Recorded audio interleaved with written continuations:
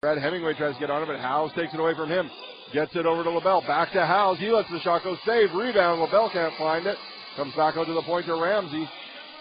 He gets it over to St. Shot. Scores! So Ramsey lets the pass go to St. Jacques, and he just tips it in up and past Lamoureux. So the Kings cut into the lead with 17-11 to go, and that's the type of response Mark Morrison would want.